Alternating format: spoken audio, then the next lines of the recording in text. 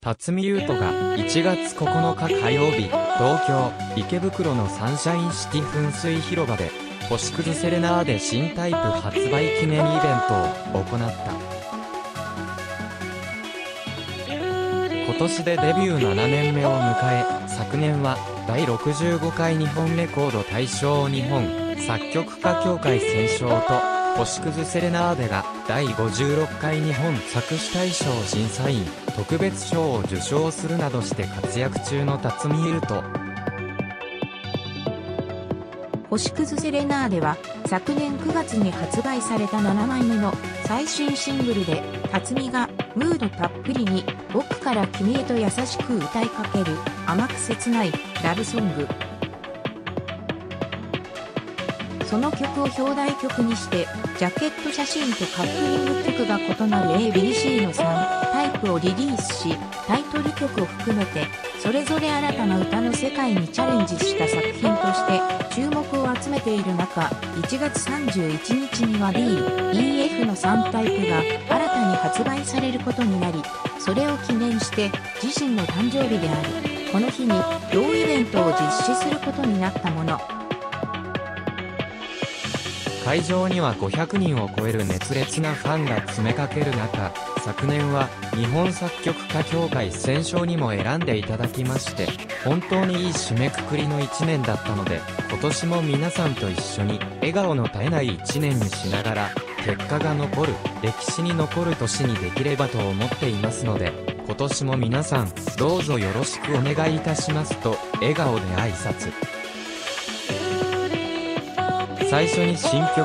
星屑セレナーデのショートバージョンを歌った後、新タイプのカップリング曲から B タイプの戻ってきてもいいんだよ、E タイプの眼差しのわけ、F タイプのオンザロックスの3曲を続けて歌唱。その後、新曲タイトルと顔写真入りの特製バースデーケーキが登場し、会場中のファンがみんなで、ハッピーバースデーツーユーを歌いながら、誕生日を祝い、辰巳は大喜び。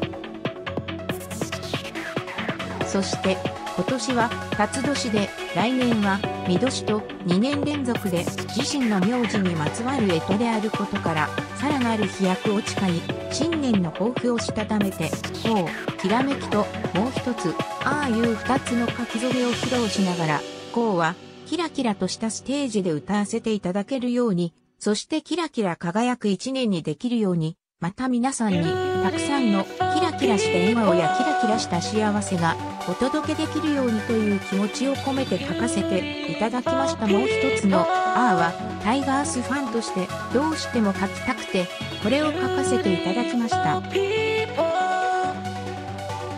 昨年、タイガースが日本一になったように自分も日本一の歌手になれるよう一生懸命頑張っていきたいという意味を込めて書かせていただきましたと説明。最後に新曲、星屑セレナーデのフルバージョンの全5曲を熱唱した辰巳は、新タイプについて、自分の等身大の曲や、皆さんにキュンキュンしてもらえるような3タイプの曲を作っていただきました。それぞれタイプが違う男性が主人公の3曲になっていますし、曲調も全く違った3曲になっているので、この3タイプを聞き分けながら楽しんでいただければ、と話していた。13日に千葉浦安市文化会館大ホールでのコンサートをはじめ、リリースイベントや歌手仲間とのオムニバスイベントなど全国各地でコンサートイベントを予定している。提供サンニュース